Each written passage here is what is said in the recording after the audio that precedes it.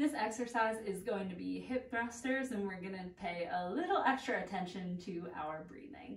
So for this, you're gonna have a bench and you'll want the bench to be right at the bottom of your shoulder blades. So kind of wedge yourself up and then you're gonna breathe in when you're at the bottom, start to blow out and come up. So breathe in, blow,